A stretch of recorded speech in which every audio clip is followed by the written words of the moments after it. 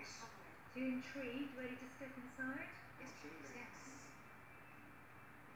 Happily, they appreciate the situation and character of our cottage. But can it deliver the space they're used to inside? It's time to find out. So come through, you've got a porch, and it leads straight into the dining room. Oh, yes. Room. It is lovely. What about the dimensions? Because it is a cottage. Yes. It is first. Possibly a little cosy for our two large dogs. two very odd.